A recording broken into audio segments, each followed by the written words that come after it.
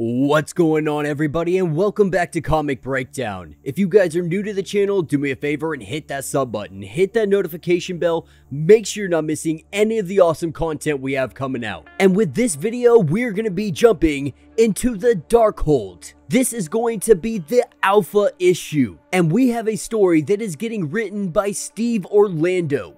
And for hundreds of years, scholars and heroes alike they have searched for the complete text of the Darkhold, the book that was written by the elder god Chthon, and with one of the greatest sorcerers in all of history to find that book. Chthon has found him as well, and so is going to take a team of heroes to go and save the day in other Otherrealm. And with that being said, Let's dive into this breakdown. Alright gang, so we're picking up underneath the United States in Abyssmia. And deep down here, we have individuals digging. And they have been digging, working for one sorcerer in particular. And as they do their digging, they find the book, the Chthon Scrolls. And with this book's discovery, we see a vision of the future a vision of the possibility that could come now that the true Darkhold has been discovered, and what we see as a vision of absolute chaos. The world descended into absolute madness, with our heroes doing everything they can to defend Earth. But if Chthon rises, we would see the fall of everything. And as this vision comes to an end, this is where we see the Scarlet Witch. Wanda awakes from her sleep. With this just being a nightmare, she realizes that this means the Darkhold has been discovered, that it will only be a matter of time before that nightmare becomes a reality. Because she knows now, with that vision, that Chthon is on his way. And picking back up underneath the United States, we have Victorious, kind of the second in command for Doctor Doom. And as they are sitting here having minions read the book, because whoever reads it goes mad, so of course Doctor Doom isn't going to read it directly. And at least that's what we're presuming as of right now. But what we do learn is that the Elder God Chthon, he stripped his own brother's flesh, recorded his work, and for that he was banished to other realm. and with the other gods filling Chthon's book with wards against him. The pages were copied to stone and then to parchment, and we now know it as the Darkhold. But in the midst of this conversation, this is where we see the Scarlet Witch descend upon them, letting them know that whoever does read this book, they go mad, telling them that they cannot control this book. The only one who can is the Scarlet Witch and we see a fight break out between Victorious and Scarlet Witch. And we see the Scarlet Witch just completely wrecking her. Now believing that this is this should be impossible because she has the power cosmic. Believing that it could not be quilled by her. Yet that is exactly what is happening. And she really tries to talk some sense to her. Tries to let her know that she knows of all people how Doctor Doom can bend people to his will, and that there is no need for either of them to fight. But this is where she gets interrupted by Doctor Doom himself, saying that they may have had relations, they may have known each other at one point in time, but she does not know Doom. And Scarlet Witch, she immediately demands to know what Doctor Doom is up to, why he has dug this book up, and what point is there to it? Knowing the danger, why would you do something like this? And in Doctor Doom's eyes, danger is power.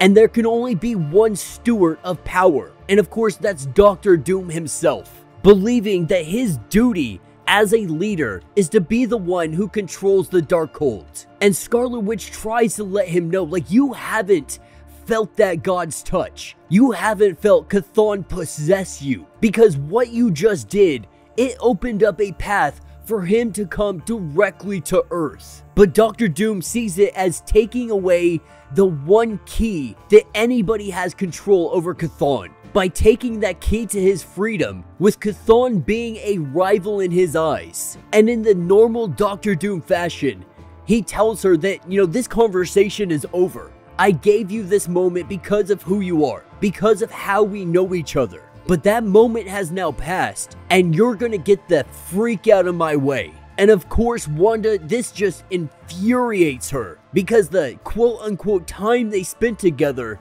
was her powers being stolen. And even then, Doctor Doom, he couldn't be able to, to control all of that, telling him that the true power of the Darkhold is something he will never be able to maintain, something he could never control. That reading just the first page would drive any living individual completely mad. But Doctor Doom, being Doctor Doom, always has a trick up his sleeve, and he reads this text through his Doombots. And this is where she realizes that it was Doctor Doom. Doctor Doom is the one that awoken him, that awoke this god. That that nightmare she saw, that was a tainted nightmare that he sent through another dimension to show that the path has now been opened, that Chthon now has a way of making his way to Earth. And the only choice they have now is to stop him, to stop his escape from Otherrealm. And Scarlet Witch gives Doctor Doom an ultimatum, saying that they are now bonded in this together, and he only has two options. He can suffer the reign of Chthon, or they can work together and they can bring him down. Because if he can read the true text of the Darkhold, that means he absolutely has the means of doing this. And Doom tells her that he has also been suffering from visions, and that he agrees with her. And he brings her to a vibograph. They use this vibrational technology to surveil the surface, more or less being able to listen through rock. But Doctor Doom, he is using this to be able to pierce dimensions, not just stone. And with the true Darkhold, he will use it more or less as a lodestar.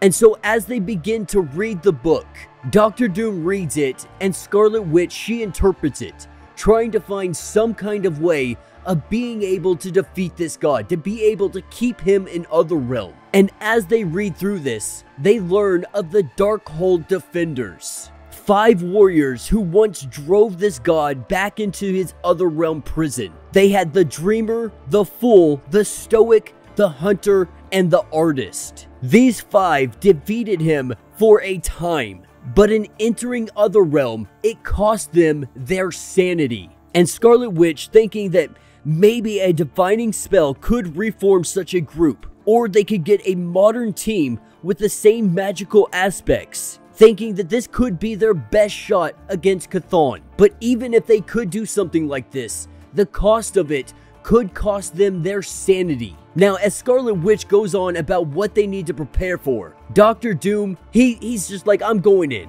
I'm ready to do this. I don't need any five members. I don't need a team. This god has no idea what he is about to face. And we see Doctor Doom takes the Darkhold over to his machine, placing it on the machine. We see an electrical charge come out of the book, letting the Scarlet Witch know that she need not worry, that Doctor Doom will take care of this god, and that Doom will come to Chthon. And just like that, Doctor Doom is teleported to other realm. And of course, Victorious, she wanted to go with him or at least prevent him from going. But with him being himself, not listening to anybody or anything, Scarlet Witch and Victorious, they think it's a good idea to form this team, the Darkhold Defenders. And with her having the power cosmic, she has the ability to bring all five of these individuals here. And through a seeking spell, they find each of the individuals that is going to help them along the way. The first one is Iron Man, aka the Dreamer. The second one is Blade, aka the Hunter. The next one is Wasp,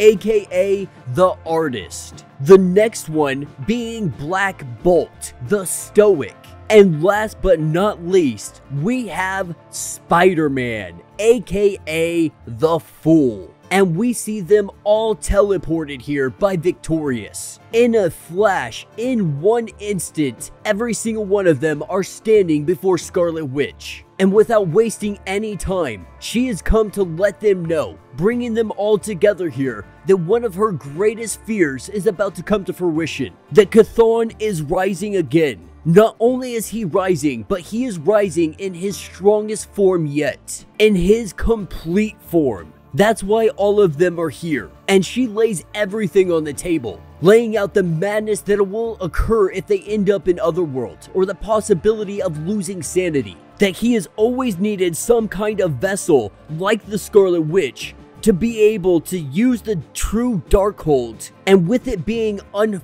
unearthed today by Doctor Doom, and with Doctor Doom racing off to go do battle in other realm, they have a lot going on right now. Now the Scarlet Witch, she knows that Doctor Doom, he's going to get chewed up and he is going to be spit back out. And so they need the Defenders. They need the Darkhold Defenders. And so with them all knowing the risk, with them all knowing what is at stake, one by one, they make the decision if they are going to join or not. And for the most part, everybody is on board everybody except for Black Bolt. Because Black Bolt, he's been doing a lot of work with the Inhumans. And he feels like this work is just too important. It's too important to walk away and risk losing his sanity, risk never returning to the Inhumans. And because of that, he has to decline this offer. But as he says this, we see a giant energy blast hit right in the middle of the room. And as this blast hits the ground, we see none other than Doctor Doom making his return. But with Doctor Doom returning, he is not in good shape. He is badly melting all over the place. The jaw in his mask has been completely removed, and it looks like he got a freaking beatdown. And as everybody stares at him, they want to know what the heck happened over in Other Realm. What happened to Doom? Over there, he saw a pulverized metropolis of madness, where no moral had any standing. No one sane was walking the lands. And upon arriving there, he just got overwhelmed, completely outnumbered. We saw them start to rip him to pieces. But of course, Dr. Doom, he's not going to divulge any information to them, saying that anything he saw over there, anything that he learned over there, is all for his eyes only. And he lets all of them know that Chthon made a huge mistake leaving him alive. Because now being alive, considering everything that happened, that Victorious is going to stay behind to be able to aid them in their endeavor, saying that it is going to be an inevitable fail, that they will not survive this. And when Chthon does make his way to Earth, Doom is going to be standing ready, having his defenses built up. And after realizing that Doctor Doom got his butt freaking whooped, all of the team starts to recognize the severity of the situation. And so Black Bolt, he's convinced by this and the others to join this team. And so the Scarlet Witch tells them that they all need to read from the Darkhold, but to be careful not to read too much, because if they do read too much, they will go insane. They need only enough to temper themselves with some madness. And as each one of these individuals, they take their turn reading from the book, they look around at each other, not seeing any difference, not feeling anything different. But all in one moment, that changes. Something changes inside of them. And Scarlet Witch, she realizes that they read too much. They read too deeply. And they let her know, you know, you wanted the Darkhold Defenders. But what did you expect to happen? Because instead of the Defenders, what you were getting is the Darkhold Defiled. Alright gang, so as we dive into this one shot, we are picking up with Black Bolt currently having memory issues. His head with an aching pain, something feeling like lightning going through his mind. Now he can't really remember what is going on, he can't really seem to remember anything at this point. More specifically, he has no idea where he is. But as he looks around at all of the vegetation, he starts to figure out that he is on the moon known as Taros. And with him having the answer to where, now he has to ask how and why. Because right now, the throne for Inhumans, it sits empty, and if Black Bolt doesn't get back soon, he worries that something very bad might happen. And as Black Bolt sits here and tries to get some of his memories back, he gets glimpses of what happened, picking up earlier at the Royal Palace. Telegar comes up to him in an absolute panic. Telegar being the royal physician, letting him know that his brother Maximus, that his duty compels him to tell the Majesty that Maximus is planning a coup. And as he thinks about his brother, his brother Maximus, tyrannical, deceitful, very ruthless, forever the single greatest threat to Black Bolt's reign.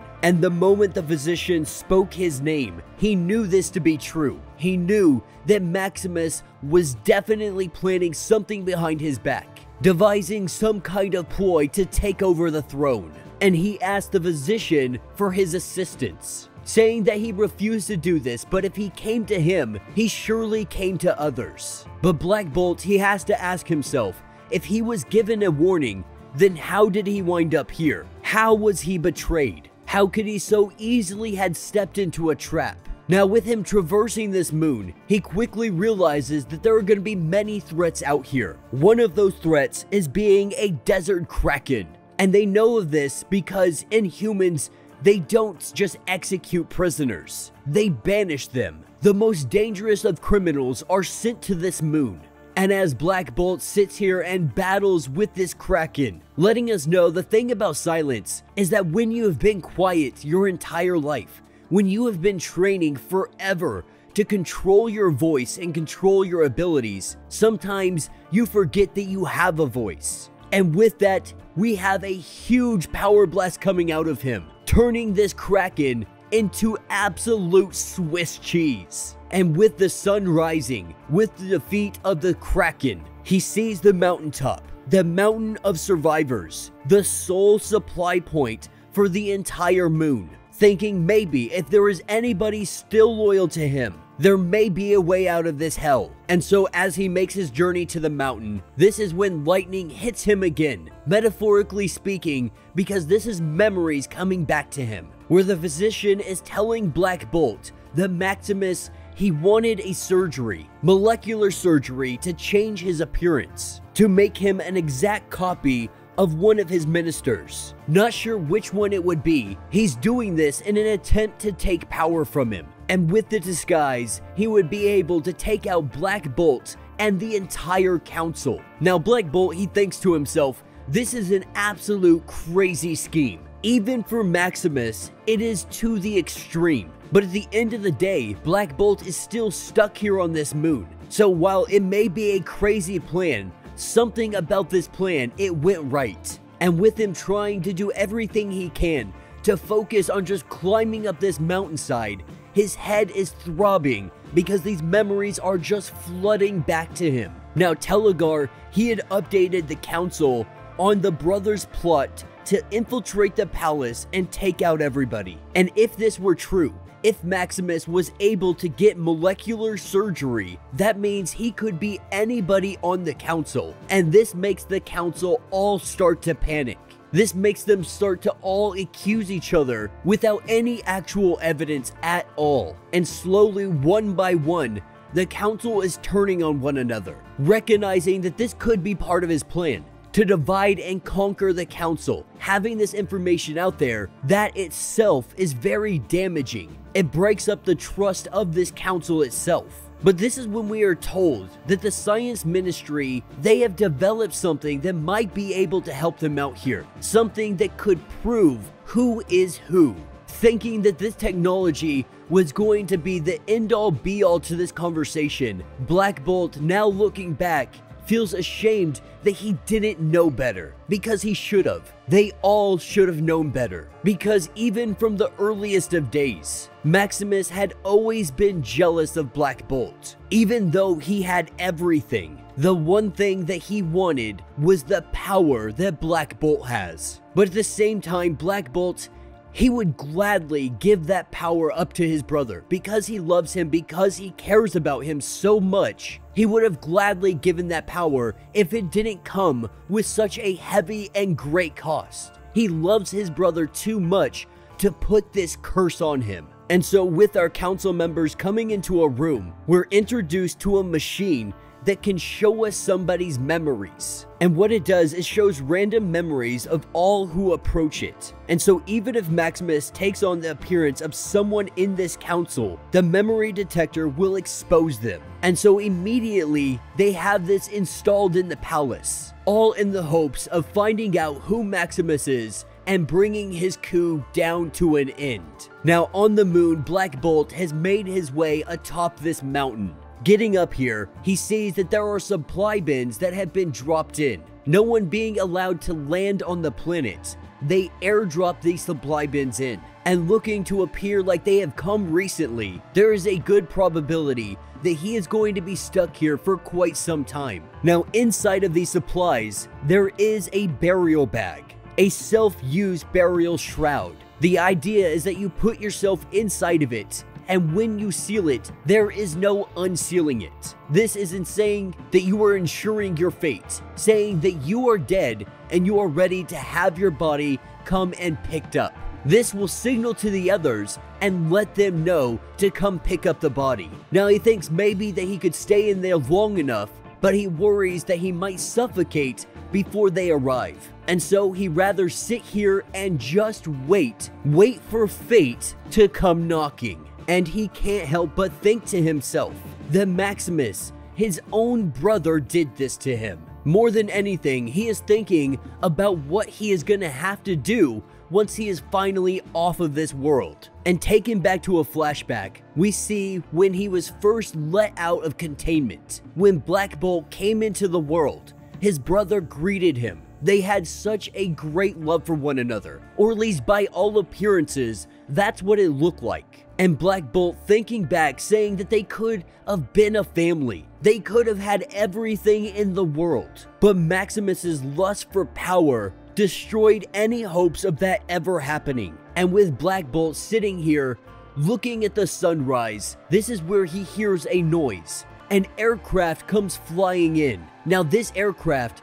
it is not a supply craft having the princely insignia on it. He can only think that this is Maximus, possibly coming down here to gloat, or to ensure that he has not escaped yet. Maybe to get a closer look at his new prize animal that he is keeping in this open air prison. Apologizing for what he must do, Black Bolt hollers out, Maximus! And with this power, the ship comes flying down out of the sky. Coming down and having a crash landing, Black Bolt makes his way over there, going in and opening up the cockpit. This is Telegar, not being able to speak to him, thinking to himself, what has he done? But Telegar tells him that he has failed the prince, wishing that that had been Maximus up there, wishing that he could tell him that none of this was his fault that he shouldn't be responsible or feeling responsible for what has transpired, that he should have known Maximus would betray them. But Telegar lets us know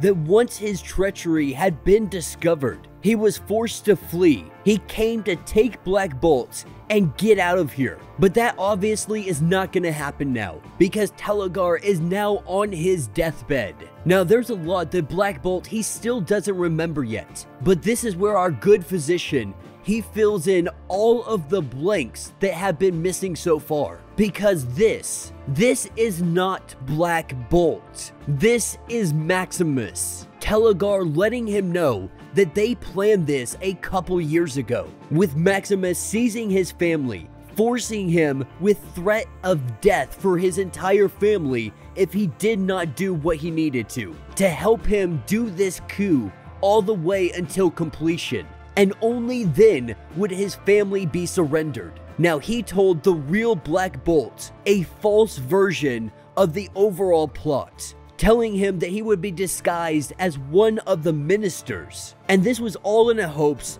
that it would paralyze any of their paranoia. They would they would start suspecting one another, and because of that, they wouldn't come together to defend the real Black Bolt when the memory machine revealed the truth because that that was the stick in their plan. They had not prepped for that. They had no knowledge of this technology being on the verge of creation. And because of it, it truly did disrupt all of their plans. The years of planning, although they made the transformation 100% complete. Now, he wasn't able to give him flight, but what he was able to do, he was able to give him the voice. Using the mist it gives him the power that Black Bolt has. And so, by most accounts, this looks like a spitting image of the king. Now, learning of this memory detector, they had to be able to fool it. They had to find a way around it. It was necessary to implant false memories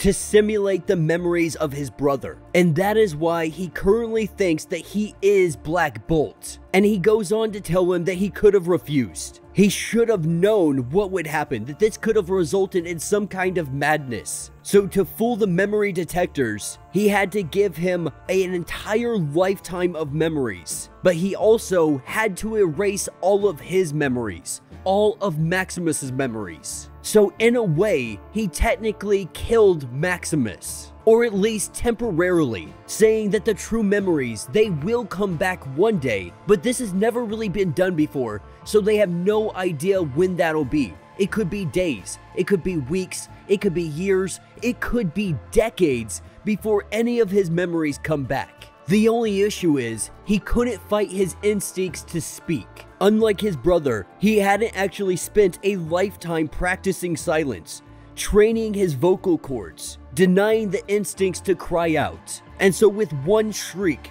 he nearly brought down the entire laboratory. And with the forces coming descending onto the laboratory, Maximus had been captured. With Telegar barely being able to slip away, the plot comes down to a failure. And with that, we have his dying breath saying he did everything he could to help his prince. And having this knowledge, he has to sit here and think about all of this, contemplating on the ideas, thinking that the coup would not be complete until he believed that he was Black Bolt. Or on the opposite side of that, until he, Black Bolt, believed he was Maximus. Thinking maybe this was the plan all along, not to steal his identity for himself, but to simply rob him of his own. And so Maximus no longer knowing whether he is himself or he is his brother. All he does know is if he is Maximus, he can never return. And if he is Black Bolt, he cannot stay here. Not knowing who he was or what to do, he takes the time, the only option that is afforded to him by fate right now. He sits here and he waits as the beacon goes off with Telegar inside of the body bag. Alright gang, so as we dive into this issue, we get a little bit of a history lesson, finding out two years ago, the vampire terrorist known as Deacon Frost had offered himself up to the ancient blood demon known as La Magra, annihilating himself and unleashing the V-Wave. This wave, it turned billions of humans instantly into vampires. With millions being turned under daylight, we saw all of them burn and when it comes to our superhumans, they were transformed, becoming either human or vampire, all by random chance or unholy design. All of the AIs go blank. The gods of men were banished. There are no more mutants, or inhumans, or eternals. There are only two races on this earth the fanged and the food. And that's what drops us into New York City, and we see Amadeus Cho. Now, he is seen as the good vampire. And right now, he is being hunted down by individuals that are working for the vampire known as Fisk. But little do they know, they are quickly met by the blade of the one and only Daywalker. And we see Blade make quick work of all the vampires surrounding him and with one of them trying to crawl away, saying that he is only a familiar, that he is still human, Blade absolutely does not care. And we see him gun down this dude right here. Now, going and looking for Amadeus, he is found in an alleyway.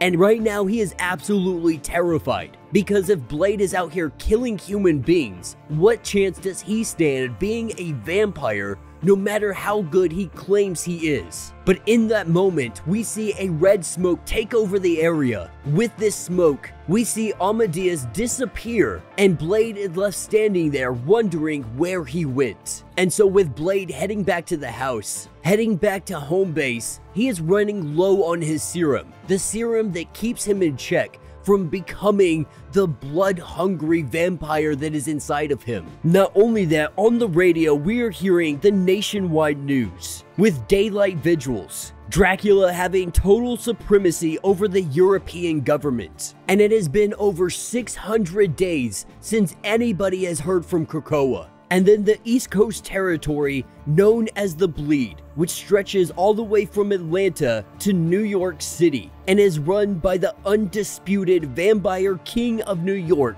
known as Mayor Fisk. Now, this is where we pick up and Amadeus is being interrogated, trying to find out what information he might have, because he was working for Fisk. And what he tells us is that he is losing control. Now, he had grabbed Amadeus after V-Day happened, and he grabbed him so that he could convince him to build some kind of tech for him in exchange for blood. Now, of course, he did this without question so he could get some free blood, but he's smart enough to understand exactly what he is building. And then he changes the subject to talk about Blade a little bit. Because Blade, he's a hunter of vampires, and Mayor Fisk, he, le he lets this unchecked. And that's because having a boogeyman out there, it's good for business. It helps him maintain the need of protection. And there has always been some kind of balance, but something has changed. Blade is not your friendly vampire hunter anymore. The serum that is supposed to keep him from going full blood guzzler, it's been running low. Medicine just isn't a priority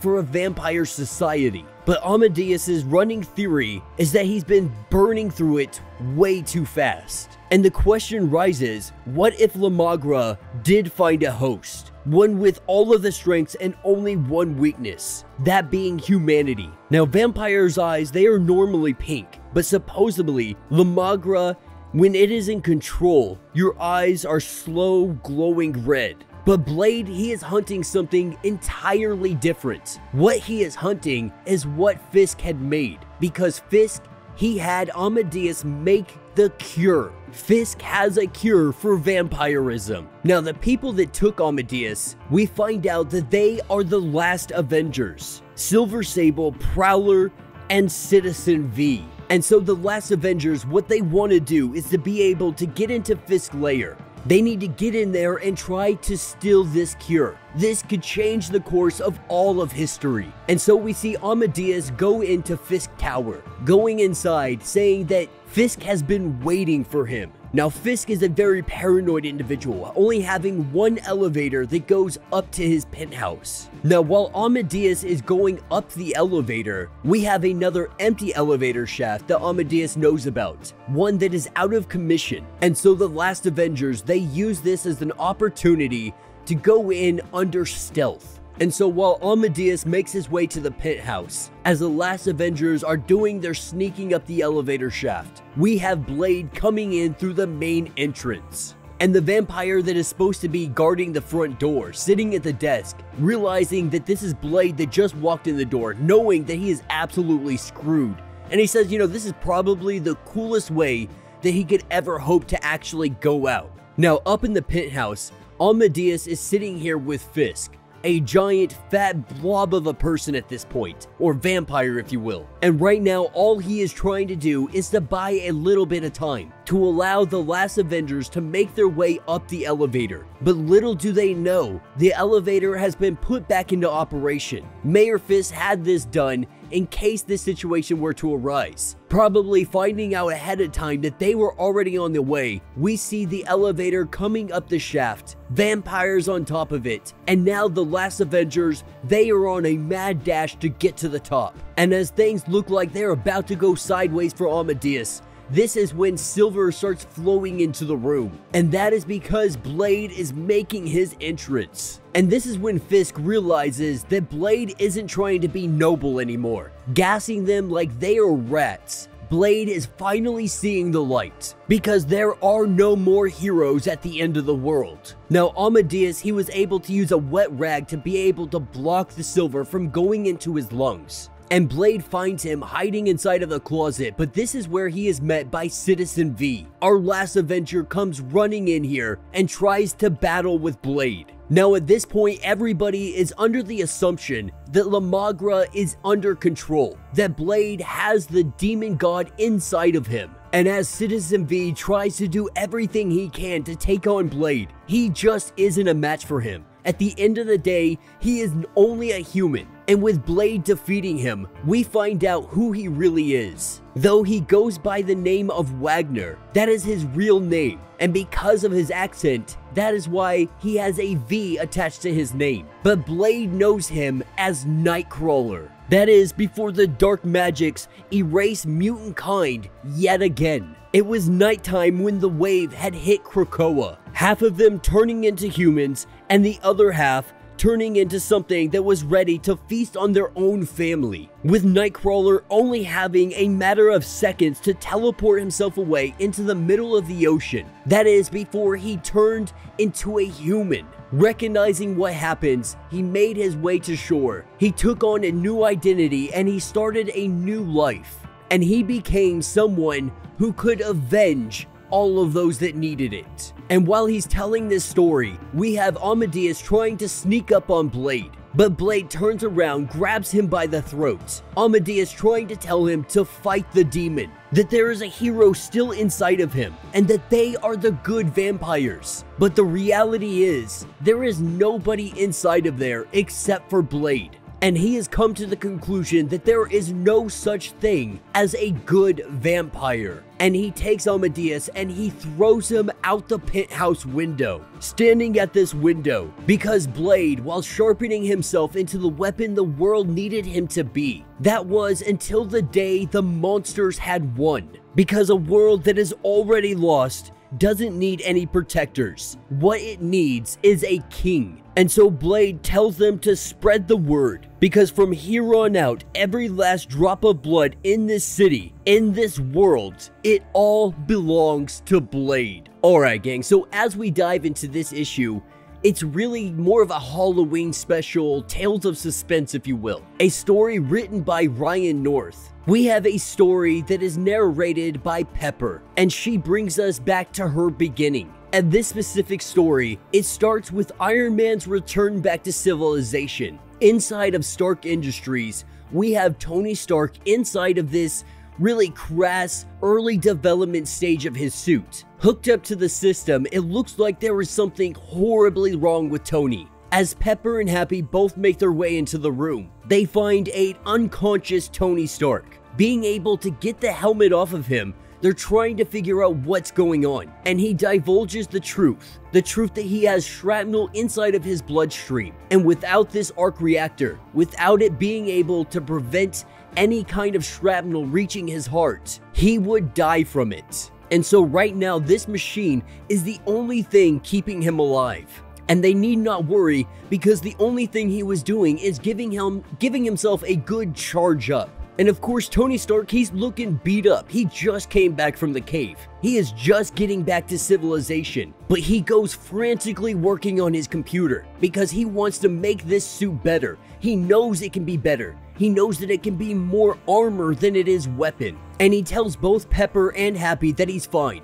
That currently, right now, he needs space to work. He's an inventor, and that's exactly what he is going to do. He is going to make this suit the best thing the world has ever seen. He is going to create a suit that is going to help save the world. Though he tells everyone to go home, Pepper, Happy, and the butler Jarvis, they all stay behind. Because as long as Tony is here working, they are not going to leave his side. And with Pepper passing out, going to sleep for a little bit, we have Iron Man walk into the room, asking if she's awake, asking if, if she can help him with some of this programming and so on and so forth. But more importantly, he has come to show the developments that he has made so far. And as he takes the helmet off of his head, we see that there are no abrasions, there's no cuts, there's no bruises. It appears that Tony Stark has healed magnificently overnight. And almost instantly, Pepper can tell that there is a huge change in him. The Tony Stark that she once knew,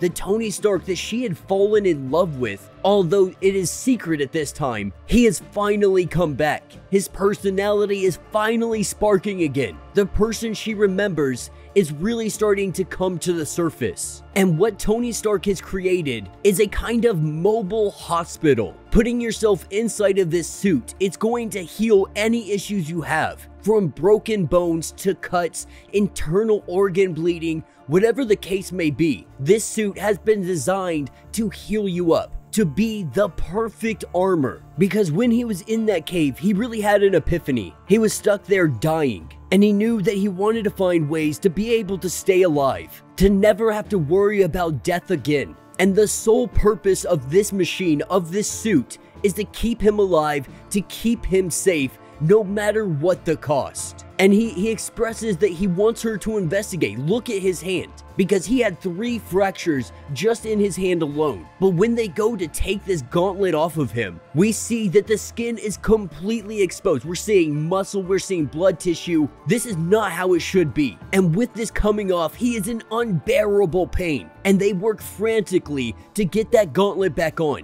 getting the glove back onto his hand almost immediately he is feeling better again. And almost instantly, he's right back to his normal personality, saying that it's simply got a few bugs that they need to work out. Now, of course, both Pepper and Happy, they're a little freaked out right now. His skin had just come off when he took off the gauntlet. That's obviously not a good side effect. It's obviously something that they don't want happening. But Tony Stark, he reassures them that he's going to be able to fix this, that it's just a minor bump in the road. Now, with his confidence hugely risen, Pepper says that she, she looked up all the information that might be useful last night and she wants to stay, work side by side with him, and try to figure out how to make his skin come back, how to make it regenerate. Because the suit, it didn't take his skin per se, but it really, it believed that Iron Skin was definitely more stable, more protection, and so human flesh is just incomparable and completely useless. So he has to get back into the algorithm, try to fix it to where the suit doesn't take his skin, but just regenerates it. And so Pepper and Tony Stark, they work side by side, working late, late into the hours, losing complete track of time. But Pepper Potts is completely engulfed in his amazement. She is completely invigorated by him. And while Tony Stark, he goes through how he, he wants to be a hero, that he wants to be able to help people, that being in that cave, it truly made him realize just how ungreat of a person he was. Not only that, but he realized he was alone, that he never recognized those around him, the people that cared about him, the people that love him. And this is where we see a very charged embrace between Pepper and Tony. An embrace that leads to them kissing for the first time. And though things may start to look like they're getting a little hot and heavy, he's still completely encased in an iron suit. So there's not much they can do here. And so while they share this moment, while they finally express their feelings for one another, there's still a task at hand. They still need to take care of getting him out of this suit without his flesh ripping from his body. And so they go their separate ways, working in two separate areas, trying to multitask and make it to where they can they can get this done faster. And before they know it, night turns to morning. With Jarvis coming in with morning breakfast, we hear Iron Man shout that he is coming down the hallway. And as everyone gets ready to eat some food, we see Tony Stark walk in, but something is vastly different about him. Both Pepper and Jarvis looking at Tony in complete disgust and awe, because right now, Tony Stark is inside the suit, but it appears that his skin is melting out of all the seams, as if it is being pushed out of the suit. And at this point, Tony has no idea what is going on. He can't feel any of this happening. He wasn't even seeing it happen, not even recognizing that he put the full suit back on, thinking that the, this must have happened subconsciously, that he didn't even remember doing it. And as they start to do some scans, Pepper lets him know that his skin is gone. His skin has completely dissolved. And so right now, if they remove this armor, there is a 100% chance that Tony Stark will die from it. And obviously being concerned, Tony Stark looks dead in her eyes and asks her, why would I ever want to take this suit off? Now he tries to play this off as a joke, but there was some very big sincerity in his words. We can see that this suit is changing him, something about it being connected to his, psychological. This algorithm is truly affecting him. He's more or less appearing to create an Ultron in himself. Now telling them not to worry, to not freak out, that this is just a minor mishap that he can easily fix this, he just needs some time. And we see him sit down at the computer and he starts typing away, letting them know that he needs a few items, that they both need to go grab them real quick And while he's working on this, they should be able to fix this relatively quickly. And as Pepper and Jarvis come back into the room, Tony Stark initiates the isolation protocol, and we see huge glass walls come slamming down. And this is all the time that Tony Stark can need it, because this suit has started to change him, change him into someone else, into something else. Now, from the outside, Pepper can still run a scan of his body to try to figure out what is going on before it's too late, before Tony Stark does something that he's going to hugely regret. Obviously knowing that there is something wrong with him, she goes to the computer screens, and she tells Tony that whatever is happening to him it's accelerating, that there are wires from the suit deep inside of his brain, that his skull has completely gone and he'll never be able to leave this suit again. And looking through this glass, there is no emotion on Tony Stark's face. A complete calm is over his body. And the only thing he says is that that sounds fine to him. And we see Tony Stark start to slowly walk away from Pepper with tears in her eyes, seeing the man she loves slowly turn into this Frankenstein of a monster. With him being completely content, with this algorithm con completely taking him over and making him complacent in everything going on, he goes over to the computers and he says that he needs to work. Kicking the building into absolute lockdown, all of the doors shut, lines cut themselves, nobody can reach Tony Stark. All they can do is sit there and wait. Now, with not much time passing, we see the lab unlock. With it unlocking, both Jarvis and Happy, they go in to investigate, to find out what is going on. But it only unlocks temporarily. We see the glass come slamming down and both Happy and Jarvis are trapped. With the fire suppression system going online, all of the oxygen is sucked out of the room. And as Pepper watches on a monitor, she sees exactly what Tony Stark has been up to. He has been working and creating more of these suits, and is using Happy and Jarvis as his next guinea pigs. With them both unconscious, he grabs them and throws them into these newly constructed suits. In a matter of seconds, you start to hear bones snap you see both men start to gush out of every crease in this suit. And when it's all said and done, they sit there motionless until a few moments later, they start moving to help Tony Stark. Now, Pepper, she is trapped inside of this building, having no way to access any way out of here, being so high up the only thing she can do is simply sit here and watch as all of this transpires. And looking outside, we see that Tony Stark is down on the ground, inside of his suit, telling everybody that this suit is the suit of the future. Whatever ailments you have, it will save you. It will heal you. It will protect you. You never need anything else. And while Pepper, she throws a chair out the window, tries shouting to everybody to not get in the suits, they can't hear her. And one by one, she hears people getting into suits. Thinking that maybe he was only able to make a couple, she is hearing dozens and dozens of people screaming, bones crunching, and then absolute silence. And as she sits up here crying her eyes out, knowing that there is nothing she can do, nothing she can do to stop Tony Stark and what is about to transpire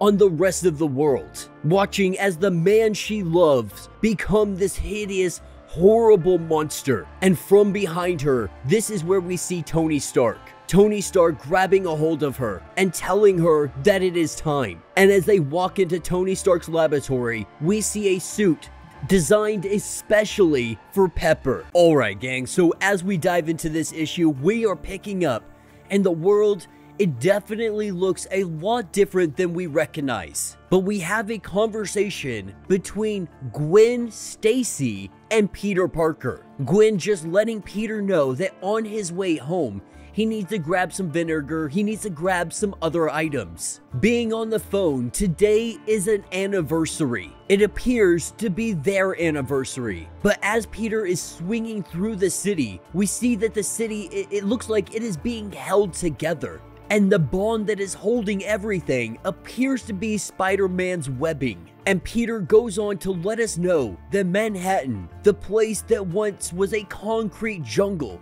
full of noise, never having a moment of silence, Manhattan is now quiet as a mouse. And that is because of the unraveling. And the unraveling has taken over all over the city. Spider-Man not knowing why it happened or even how it happened, no one knows at this point. Reed Richards saying that it might have had something to do with the Molecule Man, but even then, Spider-Man believes that he might be reaching on that. All they truly know is that one day, everything began to fall apart. Bridges, buildings, even people started to fall apart. And that's where Spider-Man's webbing comes into play. The only trouble is that his webbing, it doesn't last that long. Only being able to hold individuals together for about three hours, Spider-Man has to make his way across the city all day long trying to keep everything together. And with him having to go all across the city trying to piece together everyone he can and keep them whole, people are going to slip through the cracks. Individuals will slip through the cracks. And we have one guy right here in front of him who he is trying to piece together, but it looks like he is missing pieces. His jaw is missing and one of his arms is missing. And what Spider-Man lets us know is that Dr. Octopus had tried to take him hostage. And this is not the first attempt. So it appears that there may be a few individuals out there that are still able to, to operate outside of the unraveling. The saddest part of all of this is that everyone is aware of what is happening. They watch as they slowly fall apart. But Spider-Man, he goes looking for Dr. Octopus, having this guy's arm, believing that he had taken a hostage. But the fact of the matter is, he only grabbed an arm. And Doc Ock, he is definitely affected by the unraveling. Spider-Man has been doing everything he can to try to keep him together. And while he is definitely stronger some, than some other individuals out here, him still being able to move and go about, if he does it for too long or too much, he begins to break apart himself. But what's remaining of his brain, what is left of his mental state goes back to the one thing he knows. He hates Spider-Man and he is going to make him pay. And so every single day, Spider-Man is having to continue this loop over and over and over again. And for Peter Parker, this comes down to just pity. He pities everyone so much, even Dr. Octopus, that he will come back through here, he will fight him real quick, put him back together, and do it all again the next day. But with Dr. Octopus now being put back together, we see a flare go up into the sky. A flare that looks very familiar, as if Johnny Storm himself had wrote it. There is a flaming four up in the sky. And so, taking us to the Baxter building, we are picking up with Spider Man coming in and letting Reed Richards know that he doesn't need to send a flare up, that there is no reason for it. He could simply just let him know that he needs him. And Reed Richards, he is currently indisposed. And when I say indisposed, he turns himself into a, a just blob of a human being because he discovered that abandoning human morphology, it frees up significant cognitive capabilities. And so this just, it really allows him to work better. It allows his mind to work even harder when his, his body isn't focused on all of his muscle groups, his nervous system, everything else going on. When his body is not focused on that, he can redirect all of his energy directly into his mind. Now, Reed Richards, he asked him one simple question Why do you keep doing this silly anniversary with Gwen? Every single year, you do this insane anniversary meal fantasy. But the truth of the matter is, he has a responsibility to the city, with Peter Parker letting him know that he only gets about three hours of sleep as it is. That when he is not sleeping, he is out there swinging, trying to keep everything together, while Reed Richards, for all of this time, has not found anything that can help solve this problem. But there is something that he wants to show Peter Parker. And what he wants to show him is the new replacement that could take over for the webbing. Now, he lets him know that his webbing, it degrades over time, approximately 3 hours. And what he is showing him is a self-healing organic polymer that can theoretically replace all of his web fluid. He applied this special enzyme to make it adhesive. The only thing about it is this is Reed Richards' finger. Now, Peter Parker, he's just like, listen, man, I gotta, I gotta get out of here. Reed Richards telling, telling Peter Parker, like, I'm not delusional, man. Like, trust me, this plan's gonna work. I got it. You just have to bring me people that are that are like me, that are like you. Because Peter Parker's accelerated healing is what saved him from the unraveling, and Reed Richards' elastic molecular structure is what stopped him. Believing that there have to be others like him out there. If they can be brought here, they can be turned into an enzyme and it would solve all of the webbing problems. Now, Peter Parker, he ignores all of this and he focuses on the sonic gun that is in the corner of the room. Recognizing what that gun is for and knowing 100% why Reed Richards has brought it out. And it's because he is back in town. It is because Venom is in New York City. Now, Peter Parker, he is already running a little bit late for his anniversary, or it looks like he is going to be running late. But he has to investigate this Venom situation, because the truth of the matter is Spider-Man has not seen Eddie Brock ever since the unraveling had begun not knowing where he disappeared to, not knowing where he ran to. More than anything, he is concerned that he needs to take the shot and take him down before Venom gets the jump on him. The only thing is, Venom gets the jump on him, with Peter being too slow, being too stupid to recognize he had walked directly into a trap. The only issue is, Peter Parker can still remember his name, which means either Venom is pulling his punches or there is something wrong with him. And with Peter Parker bringing the ceiling down on both of them, we see the rocks coming down. But Venom stops this fight in mid-fight and lets Peter Parker know that he is not here to brawl with him. Because Eddie Brock, he is dead. Venom showing us his skeleton. Now, it hasn't been long, and Venom has been doing everything he can to keep Eddie alive and keep his corpse now fresh that he has passed away. Giving everything he can, he simply could not save his life. And Spider-Man tells him, you know, you could have left this place. I don't understand why you stuck around, why you still have Eddie Brock holding on to him. And that's something that, that Peter Parker never understood. He never understood the bond between Eddie Brock and Venom. Two wounds they were, bowed and broken at the same altar, but they healed each other. They made each other better. They were exactly what one another needed.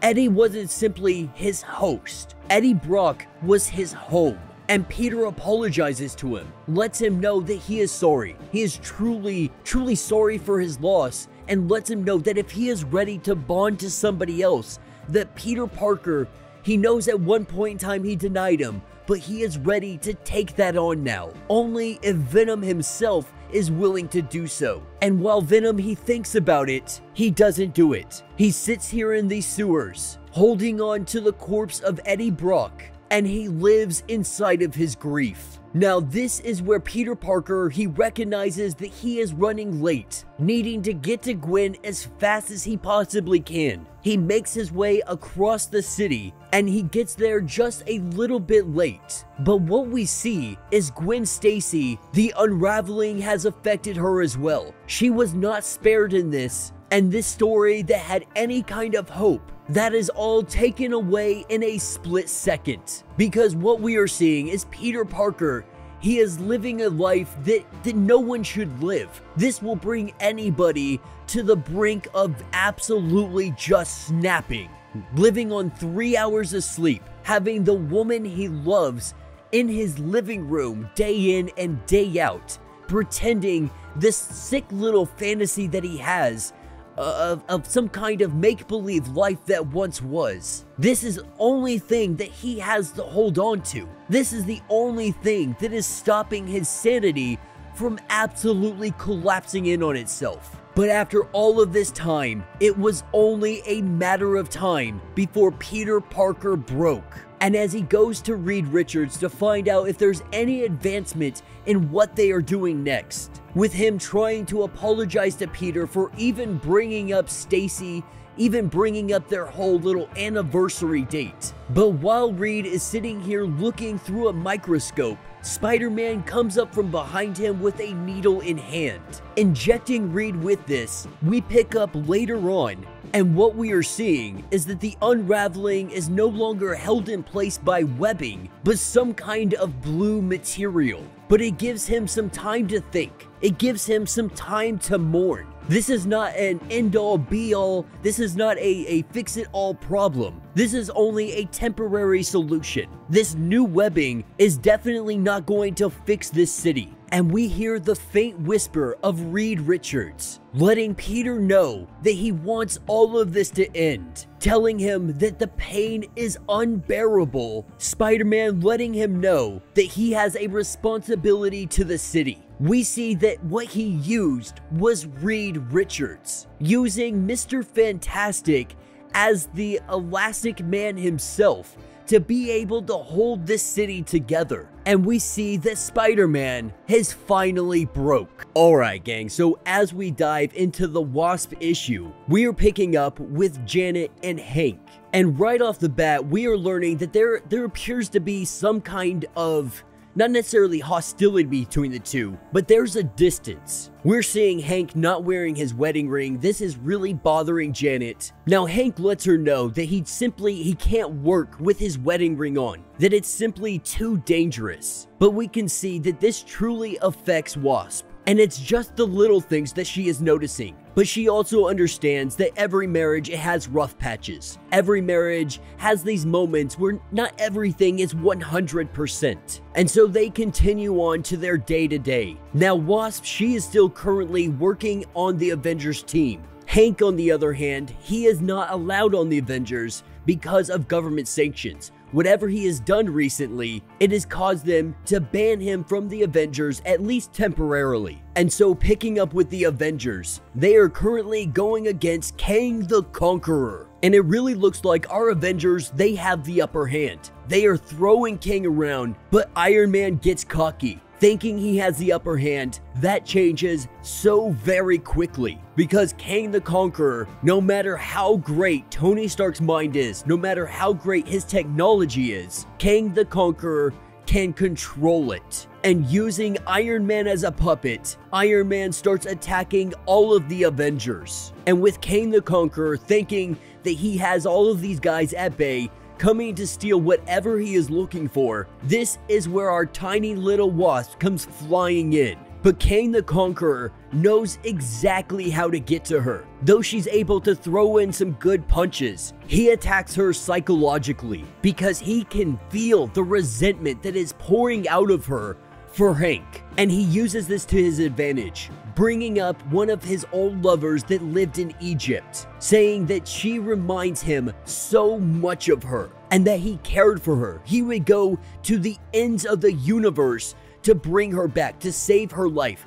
to do anything he can for her. And so he asked the Wasp, who is out there caring for you? And using this trick, this gives Kang the Conqueror the opportunity to escape. And that leaves Janet there questioning everything about her life. Now we pick up a little bit later and we have Janet just bringing Hank some food, bringing him some lunch while he is hard at work in the laboratory. And we can immediately tell that he's on edge, that he freaks out even when she asks the simplest of questions. Now he recognizes he's on edge a little bit, but he lets his anger get the better of him. But Janet's able to really de-escalate the situation, and she does that by just telling him how amazing he is, how the work he does is just groundbreaking, really just hyping him up to the absolute fullest. Now, Janet really wants to just spend some quality time with him. She even suggests that they go on some kind of vacation just to get away from everything get away from the laboratory, get away from the Avengers, get away from trying to do everything he can to get back on the Avengers. But he says he's simply too busy. Even though he makes up his own schedule, he says he just doesn't have time for her. But Janet really lets him know that they don't need the Avengers, they don't need anybody else. Because as long as they have each other, that is all that they really need. And as she sits there and loves on him and consoles him, she recognizes that his ring is off yet again. And immediately he flips out, tells her not to make a big deal out of it, not to make a fight out of this. And so she says nothing except for I love you, and she walks away. And so we can obviously tell that this relationship is just not doing well right now. It is definitely in a rough patch. She is doing everything she can to show her compassion, her affection, her support for her husband. The issue is he just isn't listening. He's not reciprocating this in any way, shape, or form. And that's what takes us to Avengers Mansion. And right now, everybody is celebrating because Hank is back in the Avengers. With the government lifting whatever restrictions and sanctions that were on him, he is welcomed back with open arms. And we see a conversation between Janet and Pepper. And this conversation is really, it's really Janet just not wanting to talk about her relationship issues but it's obviously there. That resentment, it's been building up. Well, yes, he's getting everything that he currently wanted. He is still leaving her by the wayside, still absolutely ignoring her in every form of their relationship.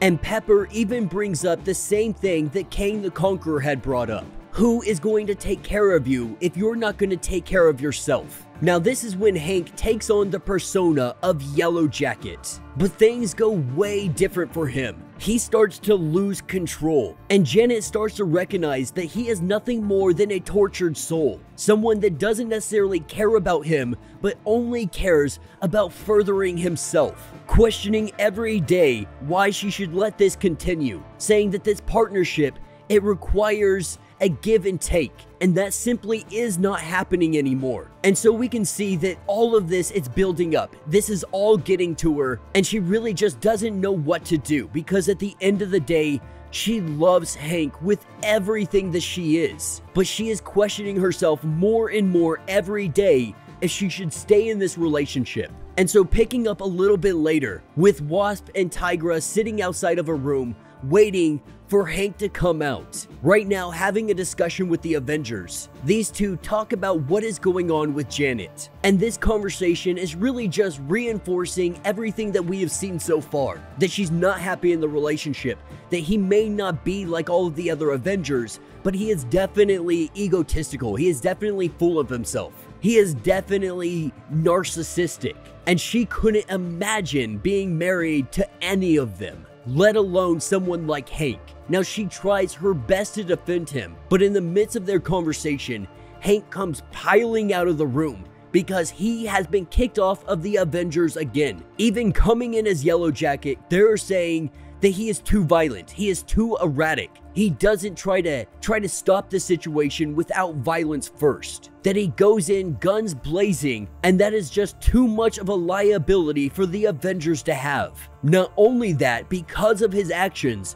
they are going to make him stand court-martial. And so right now, he is absolutely petrified. And though she embraces him, we see her at night tossing and turning, with Hank never coming to bed, with her all alone, all of this resentment, all of this building up inside of her. It's only a matter of time before something happens. It's only a matter of time before she snaps and cannot take it anymore. But getting up in the middle of the night one night, she goes down to Hank's lab to see what he is up to. Going down there, shrinking down to the size of a wasp. She goes to investigate because he has been frantically working down here for days. And what she sees, it absolutely terrifies her because he is building some kind of ultimate robot. Now Hank sees her and he absolutely freaks out. Believing that she is spying on him, he swats her right out of the sky. With her going pummeling down to the ground, she goes back to regular size. And he yells, he screams at her, saying that he is trying to save his career. As she pleads with him, she begs him to just stop all of this that they can find some kind of other way. This is where he strikes her, hitting his wife directly across the face, sending her flying back breaking beakers all over her hands, we see blood pouring out of her. Now Hank recognizing that he went way too far, he tries pleading with her, trying to say that he's sorry, that he didn't mean to do it, that he doesn't know what came over him. But this is where we see Janet pick up one of those shards of glass. And this is the moment that Wasp breaks. This is the moment that she cannot take anymore. Taking that glass she drives it into the chest of her husband. She stabs him once. She stabs him twice. She continues to stab him as blood is spilling out of his body as he goes lifeless. And with her covered in blood, stepping away from the body, she feels that she is finally free. Alright gang, so as we dive into the Omega issue of the Darkhold, we are seeing all five of our Darkhold defenders. They read too much into the book, and because of this, it has turned them mad. Reading too much out of the book, it has turned them all completely rabid, with the Scarlet Witch trying to let them know that they all need to remember they have come to fight Chthon, but they do not lack the memory. Scarlet Witch is the one that told them to read from the book. And now that they have turned into whatever they are, the Scarlet Witch wants to try to backtrack, with the Scarlet Witch holding them off, throwing the book to Victoria so it can get back to Doom. We see the five defenders trying to take out the Scarlet Witch, with her pleading with them, telling them that this was the only way. They had to be tempered with madness to go into other realm. This was the only way they wouldn't go completely insane once they arrive in Chthon's realm. Using her power and her control of the bands, she is able to lock all of them up none of them able to move, at least temporarily, while she opens up the portal to Other Realm.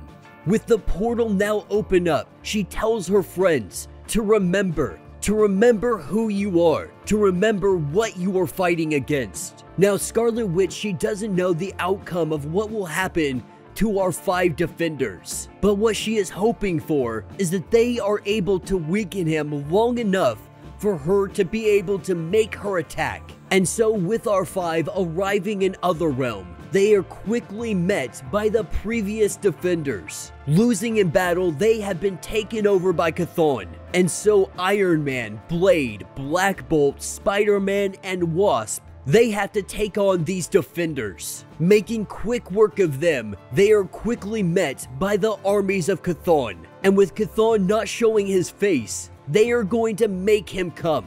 And that starts by taking out his army. And what they want to do is kill Chthon and the five of them take over his throne, be the gods of Other Realm, saying that they will deal with Scarlet Witch at a later time. If they take the throne now, the power they will get will be so immense. Other Realm will become five times worse than it ever was and it doesn't take long for the five of them to completely lay waste to the entire army. And this was enough to get the attention. The attention of Chthon, with the ground rumbling underneath their feet, with it cracking and breaking into pieces. We see a hand arise, scooping the five of them up it begins to close down on them, with the wasp growing in size and doing everything she can to stop this hand from squishing all of them, with the power of just being too great. She is unable to hold this for a very long time, but lucky for her, a wandering stranger makes his arrival, coming in to save the day, a giant blast of energy shoots out in all directions, and this stops them from being crushed into the hand. None of them having any clue who this individual is. Not sure where he came from, not sure if he is one of Chthon's lackeys. Blade goes in to make an attack, and our stranger knocks him for a freaking loop. But before the five of them can take him on, the ground starts to rumble, and Chthon shows himself with all of the heroes laid out on the ground, with our random stranger completely winded, not having the power in him to fight anymore, expending his power to be able to stop all of the heroes from being squished. Chthon goes to walk through the gateway that will lead him to Earth. The only issue with that is there is a barrier, something stopping him from breaking through. That something is the Scarlet Witch and Victor Von Doom. With Doom holding the Darkhold, the two of them are about ready to battle Chthon.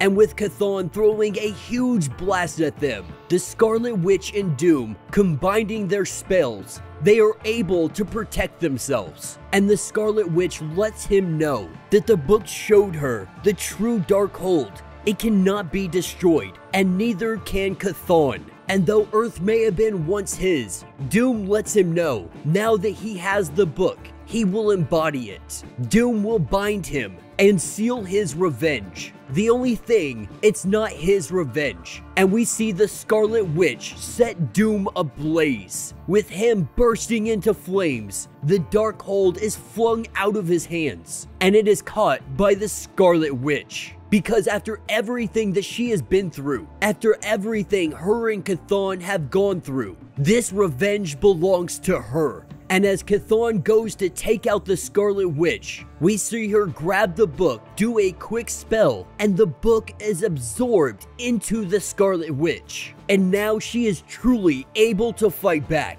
Because the book is the only thing that has real power over Chthon. And now every fiber of that book, every ink drop, it exists inside of the Scarlet Witch. She is the true Darkhold. And so Chthon, being absorbed into the Scarlet Witch, him once possessing her, she now possesses him. And with the Scarlet Witch absorbing Chthon into her, he is now trapped inside this prison. With our five heroes still driven by madness, they go to attack the Scarlet Witch to take all of this for their own. But the Scarlet Witch sending them back to Earth, we see them transform into their regular selves. Because now that she has the book, now that it is contained inside of her, she was able to rewrite the influence it had over all of them with the Scarlet Witch thanking every single one of them for all of their help. But the question still remains who was our stranger? Who was the individual that came to help us in Otherrealm? And that's what takes us to Pennsylvania. And we find our wandering stranger, with the wasps coming to let them know that they were happy to have the assist. They are grateful for his help, but the question still remains who the heck are you? And we learn that long ago, he departed on a dimensional pilgrimage. Being waylaid to other realm, he has sat and observed for all of this time. But this individual's name is James Michael Starling. This is Omega the Unknown. Hailing from the 1970s comics, having a, a revamp back in 2007 timeframe, Omega the Unknown is someone that we have not seen for quite some time. But now being free from Other Realm, he has made his way back to Earth. Now, meanwhile, in upstate New York, sitting down having a conversation is the Scarlet Witch and Victor Von Doom. Now, obviously, Doom at this point he is furious because he wanted that power. Not only that, the Scarlet Witch set him on fire, but after she had been used by him, she will never be done setting him ablaze. She knew that he would make this about himself. His ego has always been his downfall, because even in defeat, he still thinks that he is better than the Scarlet Witch, letting Doom know that he can no longer threaten her. Their feud is locked away with the past, the darkness that she will always carry along with her. This is a new page for the Scarlet Witch, and finally, she is free. And that will be the end of this series. So let me know what you guys think down in the comments. I really have had a lot of fun with this Darkhold run. Most of the story surrounded our individuals reading the book and the what if stories that happened to them. Now, of course, we saw it was all temporary. Everything went back to normal, but these are situation stories that could happen, and they were in fact left with the memories to remind them of the small changes that could change their course of history forever, to change their fate, and they could go down a very dark path. But what we are learning is the Scarlet Witch, she has become one with the Darkhold. This makes her one of the most OP characters in Marvel Comics. I mean, we literally just saw her create a mutant heaven, and now she is absorbing the Darkhold. Not sure if this was before or after those events, but regardless, they are making her one of the heaviest hitters to be currently written right now. And so it'll be very interesting to see how they handle her moving forward. Having all of this power inside of her, all of this chaos magic, the Darkhold, everything. We can only imagine that she is going to be seen as a threat by by a lot of people, maybe even part of mutant kind themselves, because it wasn't necessarily said that she was a she was accepted back as a mutant. They call her the Redeemer, but we can only imagine people are going to be terrified as she grows more and more powerful. And then you have to worry about how are you going to write someone this powerful and what are you going to put her up against? What threats could be out there that could honestly compete with this kind of power that we haven't seen before? Or are they going to end up nerfing her along the way, taking the power away from her? This leaves us with tons and tons of questions. But if Mutant Kind could ever use an ally, Scarlet Witch is exactly what they need on their side right now, especially with everything going on in Otherworld everything going on with the moon that circles around Mars. Having Nimrod, having Orchis, all of these things stacked against mutant kind. They need allies like the Scarlet Witch. But let me know what you guys think down in the comments. If you have not yet, do me a favor, hit that sub button, hit that notification bell, make sure you're not missing any of the awesome content we have coming out, and until the next breakdown.